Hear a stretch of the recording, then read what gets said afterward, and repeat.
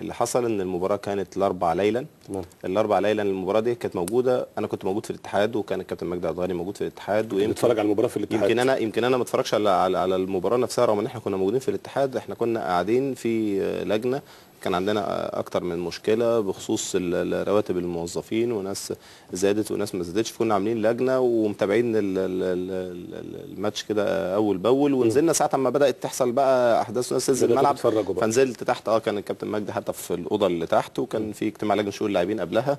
فنزلنا حتى تابعنا الحدث.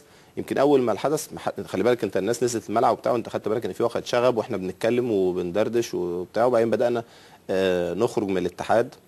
كانت بدأت تطلع تتواتر الكلام بقى إن آه ده في. اتنين واحد مات ده في اتنين ده في. ثلاثة يمكن بدأ جمهور كتير يمكن آه، خرجنا من الاتحاد وبدأ ناس تيجي تتوافد عند الاتحاد وعند اللي بيسمع الشائعات كل ده الكلام ده يعني يعني أنت بتتكلم في الأربع ليلا يا دوب حصل اتصال بكل الأعضاء فكان كان في مباريات هتلعب تاني يوم وكان في 70 فريق اللي هم 35 مباراة في القسم الثاني هيتلعبوا بقت مباريات الدوري الممتاز فكان لازم مبدئيا الأول توقف ال- ال- الدنيا كلها على ما تشوف على ما نقعد الصبح وإحنا في الطريق مجتمعين الصبح يا دوب أنا كنت وصلت للكابتن سمير كنا قاعدين رايحين نجتمع صباحا أنا يا دوب وصلت لكابتن سمير يمكن ما كانش الكابتن حازم هواري نفسه وصل اللي هو ثالث واحد قبل ما الباقي يجوا وسمعنا والدكتور الجنزوري كان في. في.